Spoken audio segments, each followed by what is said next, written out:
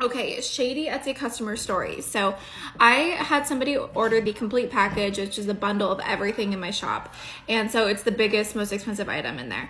And they ordered it, and then shortly after, I think the next day, they messaged me and they were like, Hey, yeah, I've been talking to Etsy and they locked up my account. They suspended my account. I can't get back in my account. Been on support with them. And I told them I want a refund for all of my products because I can't log into my account.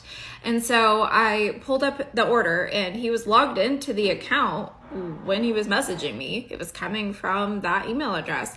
And I could see that he had already downloaded everything that came with the order before he even messaged me. He had already downloaded it. So even if he had lost access to his Etsy account, which didn't seem to be the truth, he had already downloaded it. And so I called him out on it. It was like, hey, like I can see that you already downloaded all your files. So I just, we don't do refunds on our digital products um, because of the digital nature of them. So I'm sorry, I'm not going to be able to process this refund.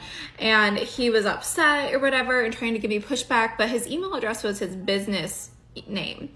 It was like his name at hisbusinessname.com. So I did a little research on his business. It came right up. He's located in Florida, very easy to find, and he, he could I could blatantly see that he was using the marketing templates that he bought from me. Like he was literally just trying to be shady AF. That was like a $98, $150 order and he was literally just trying to pull it over on me. So if somebody messages you and is giving you these ac- accusations, don't be afraid to push back and be like, no, like I can see that you downloaded it. Like, anyways, some people just be shady.